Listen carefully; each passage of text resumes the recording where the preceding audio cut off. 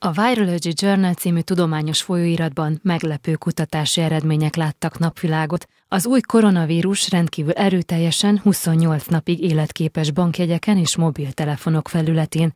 A fizetési szokások megváltozása már a Magyar Nemzeti Bank által közzétett statisztikákban is megmutatkozik. A magyarok készpénz helyett a bankkártyás vagy online fizetést részesítik előnyben a vírus megjelenése óta. Gerhes Miklós közgazdás szerint a bankoknak korábban is eltökélt szándéka volt, hogy minél kevesebb legyen a készpénzfelvétel, és ez lényegében már megvalósult, csak bizonyos társadalmi csoportok maradtak a hagyományos készpénzes fizetésnél. Alapvetően nagy változás nem lesz, bár sok helyen, ahol még kevésbé ismerik ezt a technikát, ott valószínű okoz gondot. De a bankoknak már évtizedek óta bevett szokása és eltökélt szándéka volt az, hogy minél kevesebb bankjegy legyen forgalomba.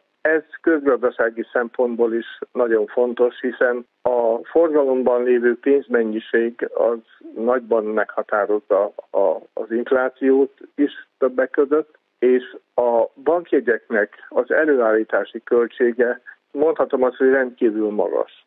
Tavaly Magyarországon az összes pénzforgalom összértékének több mint 70%-át készpénzben teljesítették, amely azt bizonyítja, hogy a magyar lakosság többnyire készpénzpárti.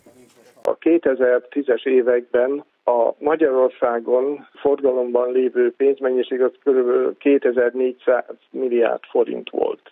Ezeknek a pénzeknek az előállítása viszont tény nagyon magas. Az érméknek az előállítása ebben az időszakban 17 milliárd forint körül mozgott. A papírpénzek előállítása pedig 37 milliárd forintba került az államnak, a jegybanknak.